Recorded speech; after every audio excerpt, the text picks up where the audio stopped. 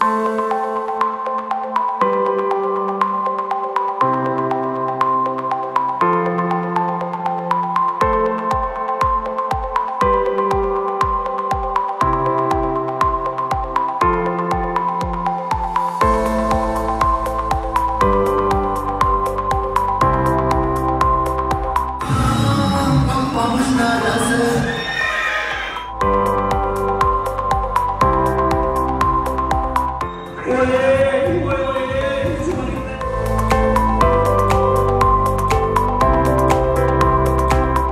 davlat agrar universitetining yangi yulduzlar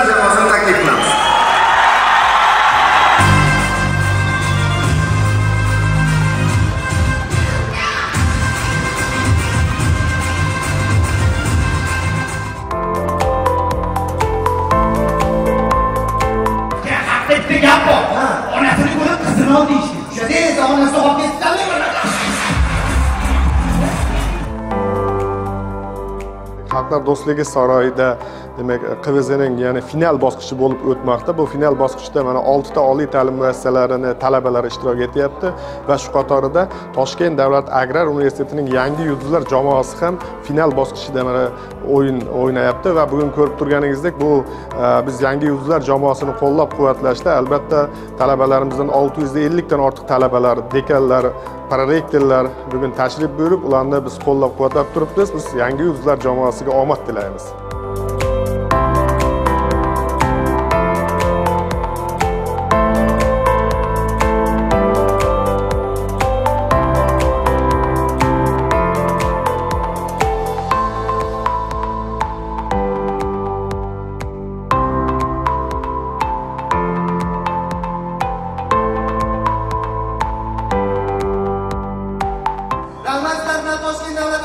gözledin yenge?